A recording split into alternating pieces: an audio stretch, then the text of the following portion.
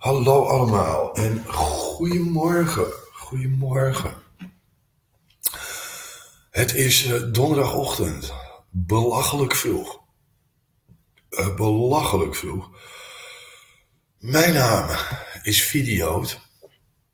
En ik ben een diehard fan. Een echte fanboy.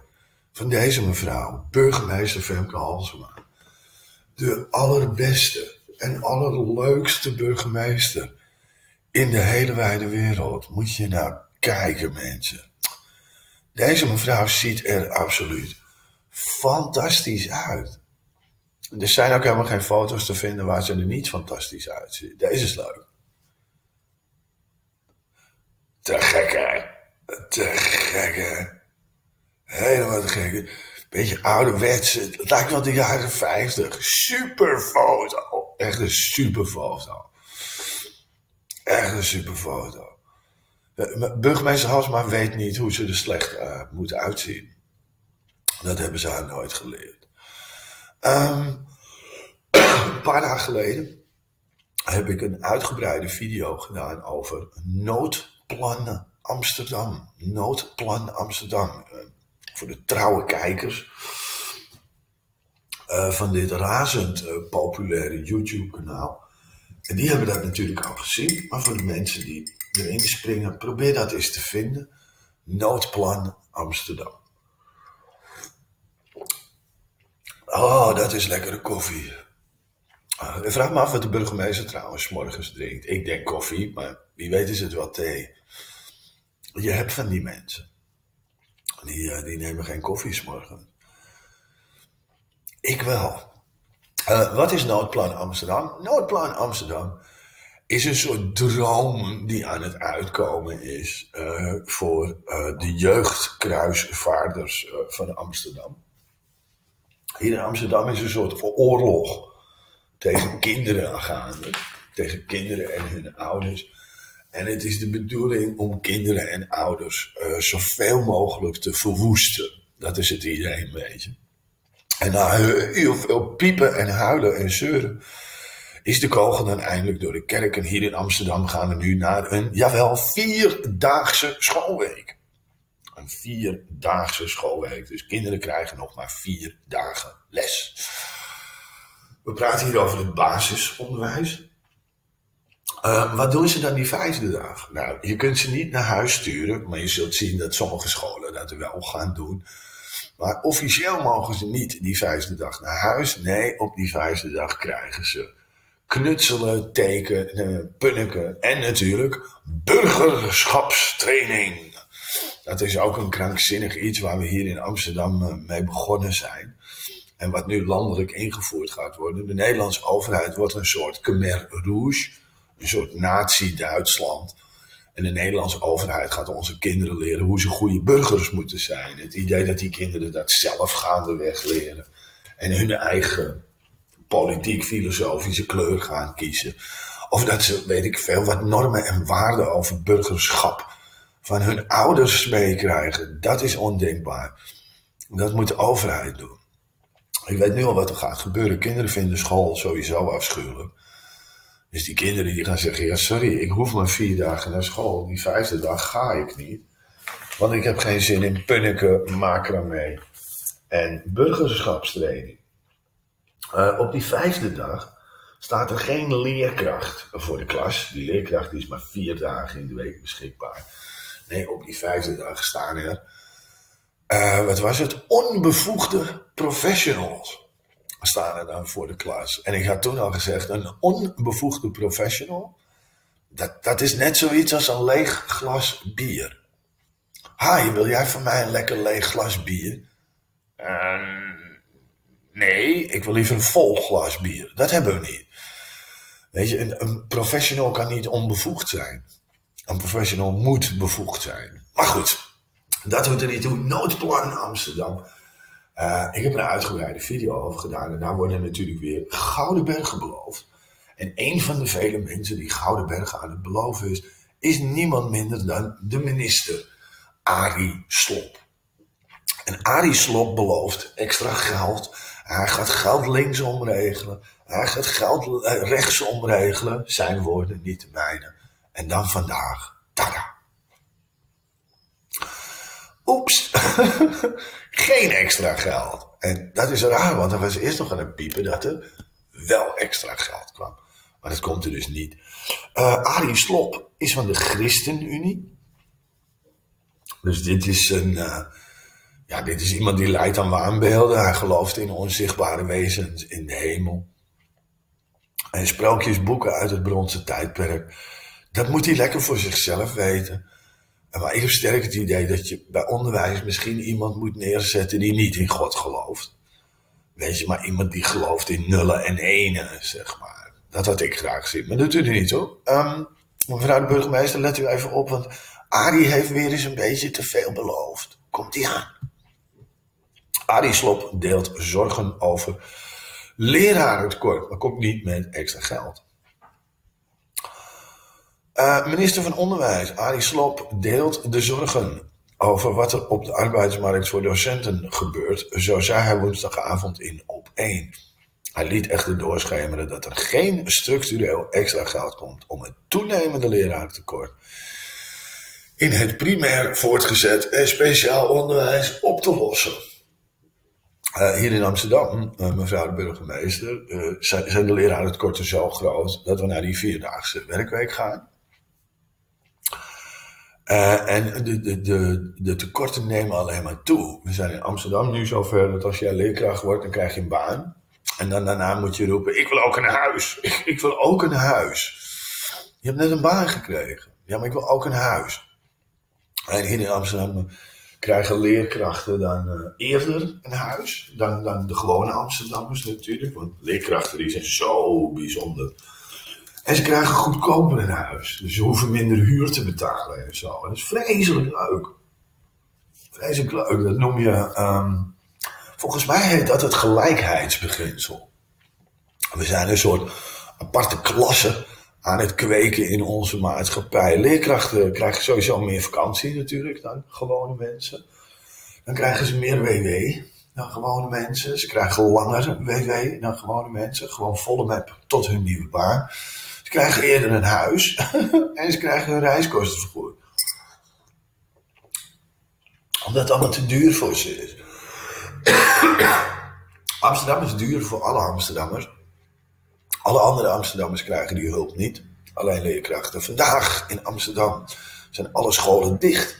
En die zijn morgen ook allemaal dicht. Dus kinderen zitten twee dagen thuis. Voor werkende ouders, of alleenstaande ouders, uh, werkende ouders met meer kinderen, alleenstaande ouders met meer kinderen, is dat een absolute nachtmerrie. Want je moet dat kind ergens gaan onderbrengen of jezelf ziek melden van werk, als dat al kan.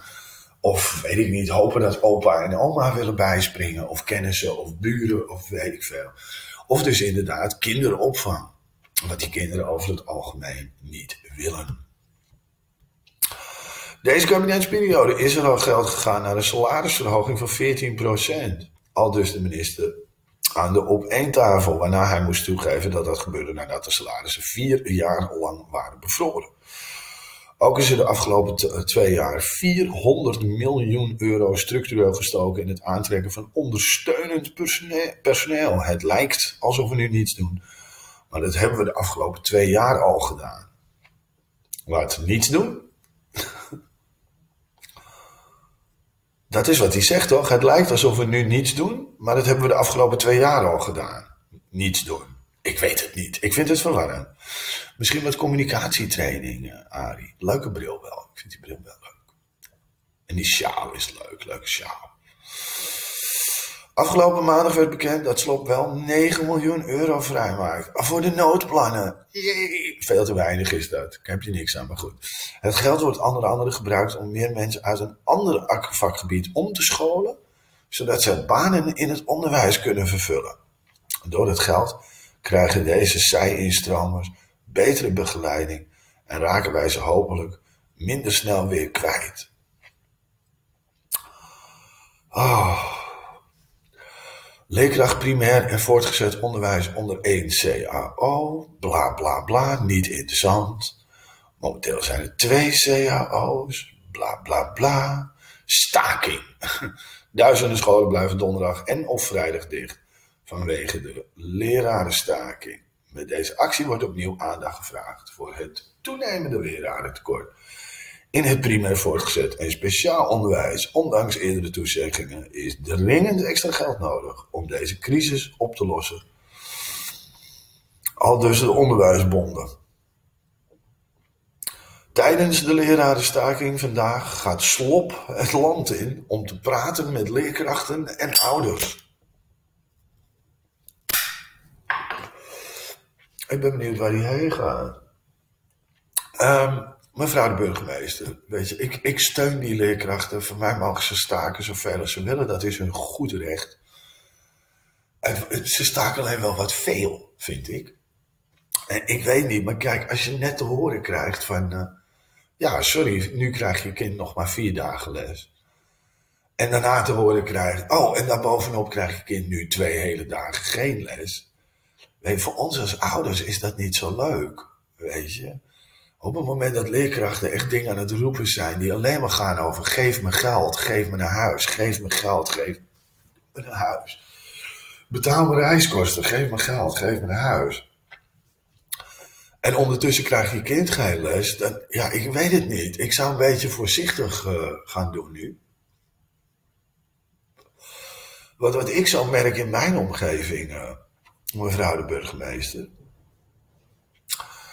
uh, is dat de, de, mensen hebben sowieso, heel veel ouders worden sowieso heel moe van de kwaliteit van het onderwijs. En alle flut regeltjes op al die scholen en al die betutteling. En het geweld en de overlast en de troep die er binnenkomt op die kinderen hun telefoons. Maar dit soort dingen, en maar staken, staken, staken. Ik denk niet dat dat helpt, mevrouw de burgemeester. Ik denk dat dat heel slecht voor hun imago is.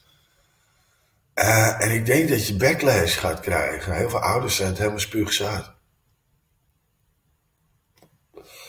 En wat je gaat zien, is dat ouders gaan zeggen, nou sorry, uh, die vijfde schooldag waar ze niks doen, die hoeft voor mij niet. Ik ga zelf mijn kind wel lesgeven. Ik verzin wel een list. Ik werk wel één dag vanuit huis. Uh, en, en, er zijn natuurlijk een hele hoop ZZP'ers, die werken sowieso al vanuit huis. En ik werk wel s'nachts en dan geef ik mijn kind overdag les. En ik vind dat helemaal niet zo'n slecht idee. Homeschooling. Een hele hoop hoogopgeleide mensen hier in Amsterdam, die, die inderdaad toevallig ook kinderen hebben. Ik denk dat die het beter zouden doen dan een leerkracht. Bovendien krijgen kinderen dan één op één les. Het is hartstikke leuk om met je kind te doen. Uh, je kunt ze kennis laten maken met allerlei dingen die ze op school niet krijgen. En ze zitten niet in zo'n drukke klas. En, en je, je kan echt lekker een paar uur quality time met je kind doorbrengen waar ze niet op die telefoon zitten. Ik, ik begin een voorstander te worden van homeschooling. Serieus. En dat komt gewoon door dit. Hier, hier, deze onzin ben ik gewoon zo spuugziek van. Geloof dat we in Amsterdam nu 280 leerkrachten tekort hebben. Dat is krankzinnig veel. En dat treft zo'n 10.000 kinderen. Uh, hier in Amsterdam Nieuw-West, waar wij wonen. Daar gaan scholen gewoon dicht. Kinderen worden gewoon naar huis gestuurd. Gewoon een week lang. In december is dat nog gebeurd. Zo van, ja, sorry, de school is dicht. Dus dan heb je de kerstvakantie. Waar die kinderen twee weken vrij zijn. Moet je ze bezighouden. En dan doen we er nog even een extra week bij. Ik vind het een schijnvertoning. Ik heb, ik heb het ook gezegd in die vorige video, mevrouw de burgemeester, ik zeg het nu weer. Amsterdam begint, we, beginnen een derde wereldland te worden. Serieus, een soort failed state. Uh, toekomstige generaties zijn waanzinnig belangrijk. Voor het bedrijfsleven van Nederland. Uh, voor de huismarkt van Nederland. Uh, voor de belastingen van Nederland we laten die kinderen gewoon stikken. En we laten ze nu al jarenlang stikken. En we zijn zogenaamd zo links en sociaal. Nou, ik zie daar heel weinig van terug. Lieve mensen, dat was hem weer. Dit is maar, ik vind, blijf dit, dit is echt een super foto. Hij is van Wikipedia. Dus ze hebben haar Wikipedia pagina dan geüpdate. Te gek. Dit is de Engelstalige Wikipedia-pagina. Daar hebben ze die gedaan. Maar hier ziet ze eruit als een of ander heel oud vrouwtje in, in, in de jaren 50. Maar dit is dus een recente foto. Wat zou ze hier aan het doen geweest zijn? Hoe kom ik daarachter? Ik kom je niet achter. Oh, hier. Ja, ze is aan het voorlezen op een basisschool. Dit is Superman.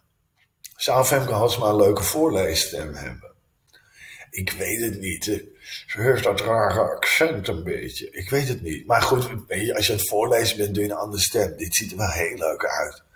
Heel ouderwets. Vreselijk leuk met die ouderwetse klok aan de bovenkant.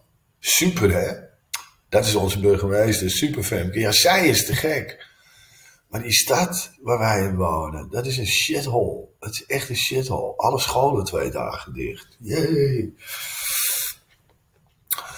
Uh, wat gaan wij de aankomende twee dagen doen? Dus vandaag en morgen. Nou, wij hebben regels in huis. Mevrouw de burgemeester. En die regels die zijn, als je school dicht is vanwege staking, of als je school dicht is of je wordt naar huis gestuurd omdat er geen leerkracht is, dan hoef jij de hele dag niks te doen. Geen klusjes, geen niets niet. Ga maar lekker een beetje hangen op je telefoon. Ga maar lekker wat snoepen, ga maar lekker wat appen. Ga maar lekker, weet ik niet, iets binge-watchen. Doe maar lekker de hele dag niks. Want dat is de bedoeling. Anders gooiden ze die scholen niet dicht. Fantastische foto. Echt fantastische foto. Hier had ik bij willen zijn. Dit had gefilmd moeten worden. En dan hadden we burgemeester Femke Halsema kunnen horen voorlezen. Met een uniek mediamoment. En wat krijg je? Eén zwart-wit foto. Maar misschien waren de regels dat ze gezegd hebben van ho ho niet filmen, je mag de burgemeester niet filmen. Dat ze dat, niet wilden. Maar hier, hier had ik graag bij geweest. Fantastisch. Maar ja, om, om op de Engelstalige Wikipedia-pagina te gooien, ik zou daar een wat modernere foto van doen. Uh, want kijk even waar we uit kunnen kiezen. Ja, ik bedoel, ik wil niet lullig doen. Maar er is nogal wat meer om uit te kiezen. En ik zou zeggen, kies er eentje waar ze... Deze bijvoorbeeld is te gek. Een fantastische foto. Dit vind ik ook een fantastische foto. Met die ketting om. Is ook een stuk moderner. Deze vind ik ook te gek. Hmm. Vind ik ook een te gekke foto.